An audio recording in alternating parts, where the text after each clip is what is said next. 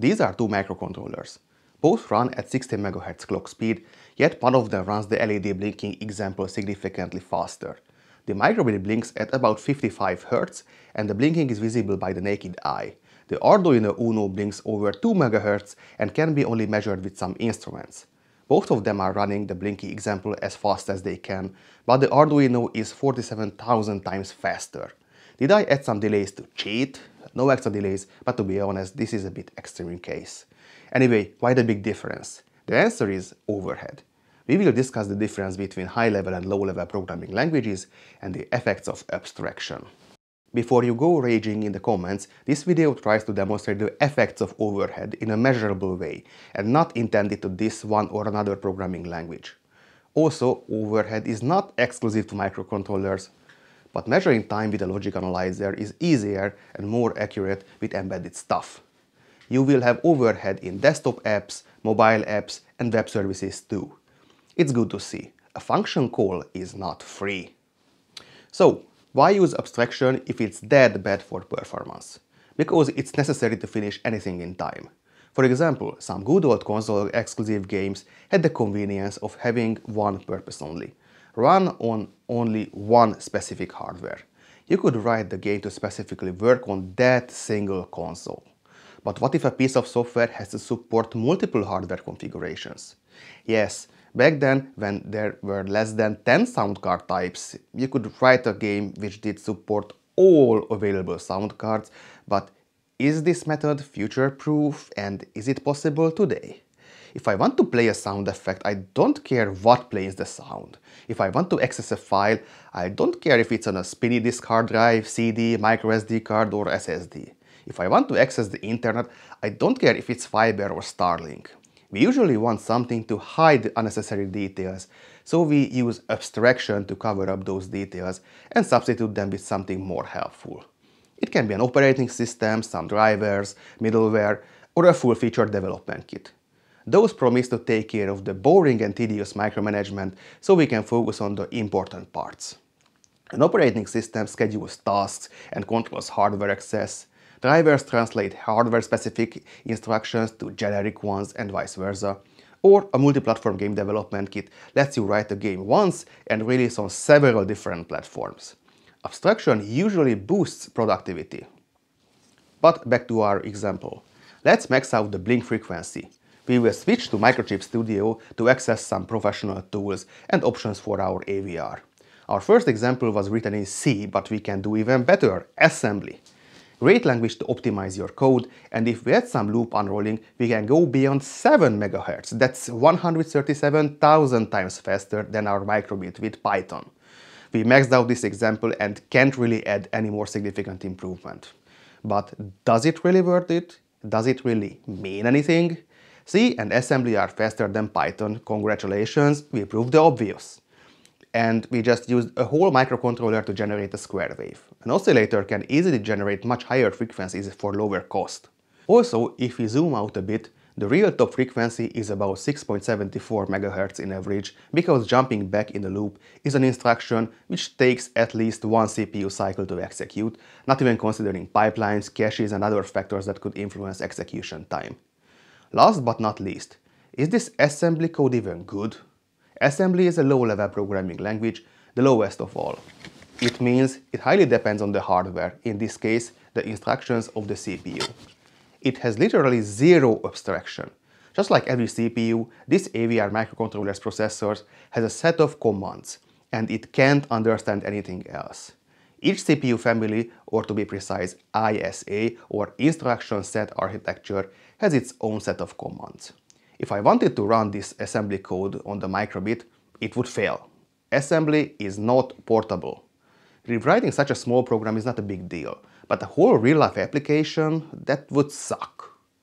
To free ourselves from these limits, higher-level languages were introduced. The level of a programming language means its abstraction level from the running hardware. C, for example, is a high-level programming language compared to assembly because a well-written C code can be run on different machines. You don't need to rewrite, just recompile for a different target. Python is even higher level than C. For example, You don't have to care about if your integer should be 32 or 64 bits in size or memory management. It just has its price.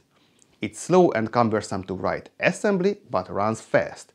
Python is easy to write, but usually runs much slower. But enough talk about high and low levels, let's see some examples how abstraction can affect performance. Let's clean up our assembly example and write it without any loop unrolling the regular way.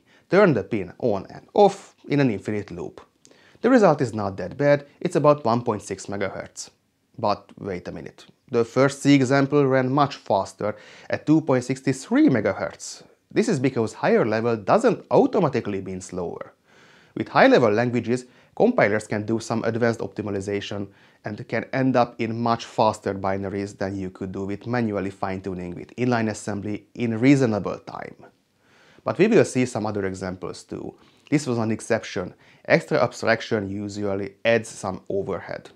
Also, we should switch to bare metal C and see the great example for overhead, the difference between debug and release. If you debug some code, the debugger knows what part is being executed and it's extra information in the code. In debug mode, our example runs at almost exactly 2 MHz. But what happens if I switch to release? The debug symbols are stripped and optimization is usually turned on. All depends on the compiler settings. The very same C code now runs at 2.68 MHz, 34% faster. Also the final hex file got 8 bytes smaller. Not much, but that made so much difference. Furthermore, our current example directly depends on these microcontrollers registers. DDR is the data direction register and port is the port register. What do you guess? Does a microbit have DDR registers? It doesn't. This code is written in C, yet not portable. Okay, but it's at least portable between Arduinos, right? Wrong. The UNO's built-in LED is on port B pin 5 and the Mega's LED is on port B pin 7. This is outrageous. This must be changed.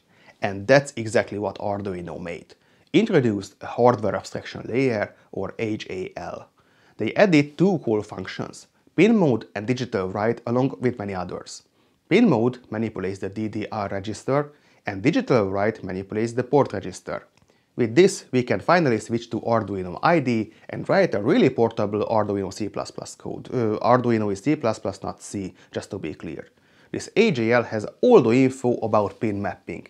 You don't have to know which port belongs to which pin, just use a number on your board. And when you change boards from Uno to Leonardo or Mega, the same pin will do the same. Abstraction means convenient stuff like this. It can speed up development or remove hardware dependencies. It's especially useful while prototyping. You can end up with a totally different hardware in the end. But let's face the consequences, how slow it is. Instead of 2 to 3 MHz, we are at 149 kHz. It's about 10 times slower than our C example. The digital write function has to do some extra calculations to map our pin numbers and it costs precious CPU time.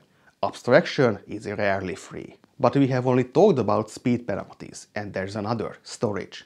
It's especially problematic with microcontrollers and becoming a bigger issue every year with lazy programmers and complex development kits. Let's remove the pin mode and digital write functions and use the good old direct register write method. We get back to our 2 MHz frequency, but what else changed? Compilers don't put unused code or uncalled functions in the final binaries. If we don't use digital write or pin mode at all, the final hex file will be 777 bytes smaller. That's 37% less. But if we compare it to our previous hex files, it's still bloated. The assembly examples were 71 and 149 bytes long, the C ones needed 410 and 418 bytes, the Arduino framework triples the binary size in this case, and that's a lot. To add more context, let me present you another dev kit. My beloved and inexpensive STM32C0 board. If I let the IDE initialize and configure all functions, it will surely add some extra code, right? You bet. I'm not using the ADC or I2C yet, everything related will be included in the final binary because at least some part of the HAL is called during startup. The resulting hex file is about 20 kilobytes, but if I only configure the GPIO, the final hex file size is dropped to 8 kilobytes. Having that code in the binaries doesn't always slow it down, both bloated and stripped versions run exactly as fast. But having Arduino doing some background tasks makes some measurable difference. 2.63 MHz instead of 2.68 MHz. Just 1.9% slower, but slower. Including random libraries can affect performance and it's highly discouraged. In Python, the wildcard import is considered bad practice because it will pull some unused and unnecessary code, possibly slowing your code even more. Let's close the gap between the high-level and low-level implementations and have a realistic comparison. This STM32 microcontroller is a close relative to the microbit. The microbit has a Cortex M0 CPU core and the STM32C0 has a Cortex M0 Plus core. 8-bit AVRs are really outdated, so we should focus on the STM32 as the professional counterpart. The STM32, as I mentioned before, needed only 8 to 20 kilobytes of program space to produce about 353 kHz signal. But there's a catch. It ran only at 12 MHz, because I couldn't configure it to 16 MHz. We have to compensate the measurement, so it would give us 471 kHz signal at 16 MHz CPU clock. And if we change the code a little bit, it goes up to 416 kHz, which is 555 kHz after compensation. I saved the best example to the end and it's plain idiotic. The 55 Hz pin toggling is just insanely low. I know these frameworks add a lot of overhead, but that much I didn't expect that. So I tried to toggle a regular pin and the results are crazy. The MicroPython version jumped to 7 kHz and the Blockly to 83 kHz. Can you guess why? There's a hint. We can set the brightness of each LED. Also, the LEDs on the microbit are not directly connected to pins, but are in a much more pin-efficient matrix configuration. Setting the brightness for each LED assumes some kind of PWM in the background, so the comparison was really unfair. I know the huge difference was a big fat lie, but I honestly forgot about the LED matrix and more importantly, the end user doesn't care why did something happen. We want to blink one LED and uh, the high-level framework doesn't allow us to pick a single LED and blinking that without utilizing an underlying LED matrix and PWM driver. This is having too much abstraction. Many libraries are easy to use and comfortable first, but exclude the possibility of optimizing for special cases. Another example is the Python type system. The generic integer type is really convenient until you have to process a ton of data fast. No wonder NumPy is so popular. It can speed up calculations while staying inside the Python ecosystem, just by introducing fixed length integers. After so many examples, let's close today's episode with the final comparison. The MicroPython example produces 7 kHz signals at 60 MHz clock. The JavaScript Blockly goes up to 83 kHz and the professional native C wins with 555 kHz. So, to be absolute fair, the professional approach is just 75 to 7 times faster, which is still a lot, but not tens of thousands. But to put that into context, many embedded devices run on batteries and energy efficiency is key. If the Python code would deplete the battery in a day, the JavaScript one would last a week with the same battery, and the STM32 would be still alive after two and a half months. This would be critical for a smartwatch. Charge daily, weekly, or every other month. But back to the examples. The MicroPython hex file is almost 2 megabytes, the JS Blockly is over 1 megabyte, and the STM32 only needs 8 kilobytes to do the same task. Without stating the obvious, professional code wins, some closing thoughts. We should compare the Python and Blockly examples to compare apples with apples. MicroPython still runs about 12 times slower compared to a similarly super high-level framework and produced one and a half times larger binary. That's what I call an absolutely unnecessary overhead, and that's why measuring the performance of your code matters. You can find bottlenecks and make responsible design decisions which library to include in your professional work or hobby project. I hope you learned something valuable today and see you in the next video.